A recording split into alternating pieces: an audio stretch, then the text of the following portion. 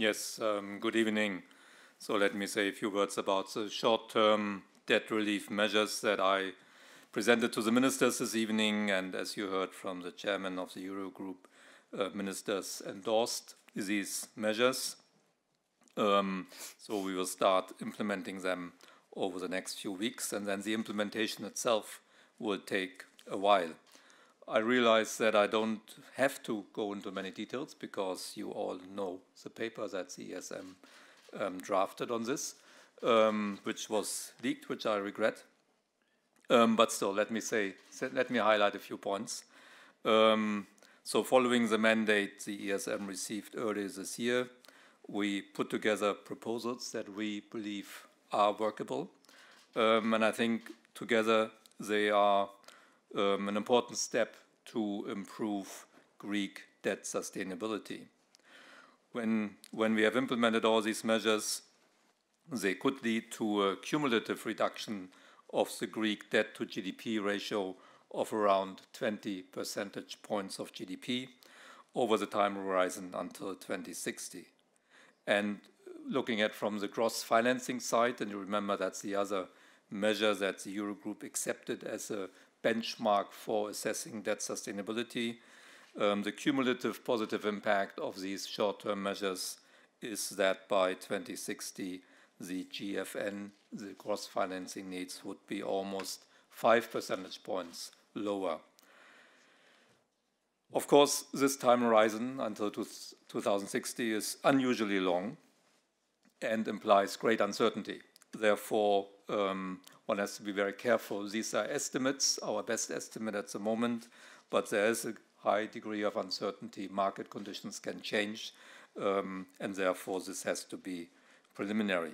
But very clearly, together, these measures will improve Greek debt sustainability. Looking at the proposals a little bit in more detail, there are three sets of short-term measures that we proposed and which are in line with um, the May Eurogroup statement. The first set is about smoothing the repayment profile for Greece. This is related to Greece's second program, which was an EFSF program. The weighted average maturity of these loans um, today is 28 years, and um, this can be brought up to 32 and a half years.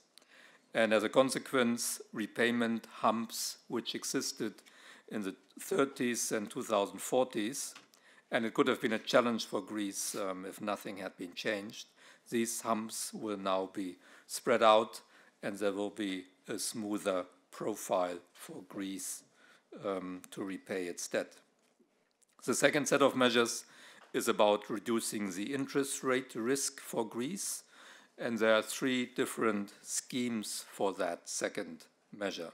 The first is a bond exchange to recapitalize the Greek banks. The EFSF and ESM provided loans to Greece um, for 42 billion euro. These loans were not disbursed in cash, but in the form of floating rate notes, as we also did it in other countries like Spain, Ireland, and Cyprus, so it's a normal process. And these notes will now be exchanged for fixed-rate bonds with a much longer maturity. And because the new bonds will be at fixed rates, Greece no longer bears the risk that interest rates will go up. Of course, it also means that upfront there may be costs, because from the beginning, then Greece has to pay the higher long-term rates. But we are very certain that over time, um, there will be savings, because in the longer run, there will be substantial savings. The second scheme foresees that the ESM would enter into swap arrangements. This would stabilize our own, the ESM's, overall cost of funding, and thereby also reduce the risk that Greece would have to pay higher interest rates on its loans, um, if and when rates in financial markets start rising.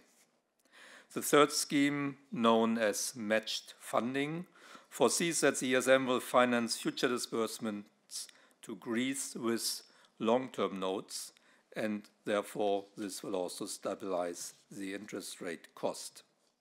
This entails issuing long-term bonds that closely match the maturity of the Greek loans. Again, market conditions may influence the degree to which these measures um, to reduce interest rate risk can be applied, and the implementation phase will be 12 to 18 months. Finally, there's a third measure in our proposal, the waiver of the step-up interest rate margin. This is related to a tranche of, any, of the EFSF program, the so-called second program, that was used to finance debt buybacks.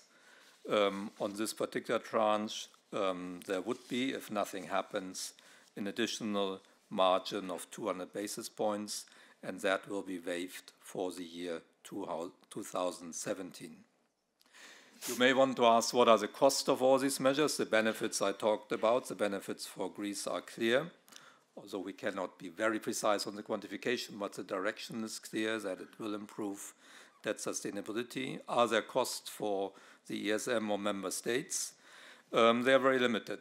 Um, the um, cancellation of the step-up interest rates of 200 basis points will save 200 million euro. That is income that member states are giving up. Otherwise, um, all costs from the implementation of the different schemes I talked about will be borne by Greece. So that relates to interest rate swaps, um, where there are costs upfront and savings later. Um, there's no budgetary implications for ESM member states, um, so it's not a change of the existing program in that sense. Um, and for Greece, um, as I said already, whatever short-term costs there are have to be borne, but will be more than compensated by longer-term benefits. I think that's what I wanted to say on the program. It um, will also only have a marginal impact on our own funding um, policy, ESM and EFSF funding for 2017. We will communicate these changes um, very soon to the markets because we, we do that always well in advance before we start a new year. And if you wonder, we will not stop issuing shorter maturities, even though we have now a focus on longer maturities. Um, we will remain present as an issuer in benchmark size along the entire yield curve also in the future. Thank you.